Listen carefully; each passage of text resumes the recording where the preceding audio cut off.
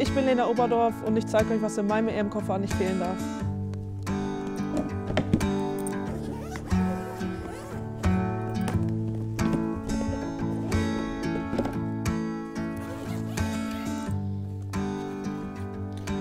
So, da hätten wir als erstes Fußballschuhe.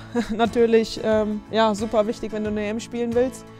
Ähm, ja, sind gerade die neuen. Ich habe sie mir ein bisschen anfertigen lassen und habe die Initialien von meiner Familie drauf geschrieben. Also von Papa, Mama, Bruder, Schwester und natürlich Hund, darf auch nicht fehlen. Und dann ähm, ja, hoffe ich, dass ich damit eine gute EM spielen werde.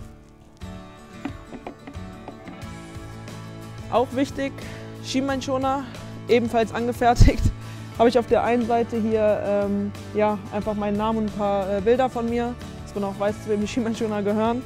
Auf der anderen Seite habe ich einen Spruch draufdrucken lassen und der heißt It's not over when you lose, it's over when you quit und der soll mich einfach ein bisschen, ja, bisschen begleiten, auch übers Turnier oder auch schon die letzten Jahre. Ähm, ja, weil ich es einfach extrem wichtig finde, einfach immer weiterzumachen.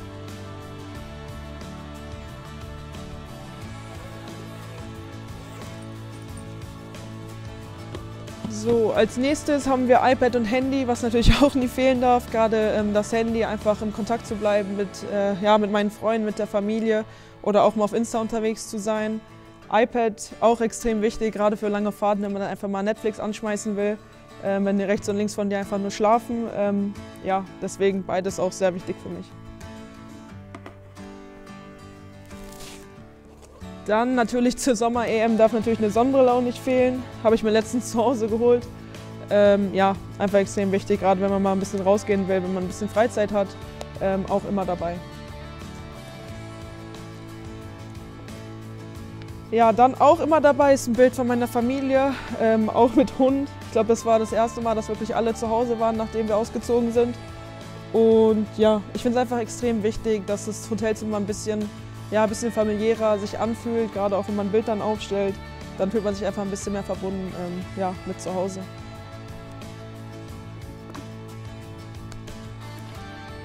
Kommen wir ähm, zu dem kleinen Kerl hier. Ähm, eigentlich wollten wir einen großen haben, nämlich Svendis und Lynn Wilms. Wir waren auf der Kirmes und äh, da wollten wir eigentlich einen großen von denen gewinnen, hat dann leider nur zum Kleinen gereicht. Aber ja, seitdem immer dabei und soll einfach ein bisschen Support geben. Ja, und das waren auch schon meine Sachen, die bei der EM nicht fehlen dürfen. Ähm, ich hoffe, der eine oder andere Lacher war dabei und es war interessant und wir sehen uns beim nächsten Mal.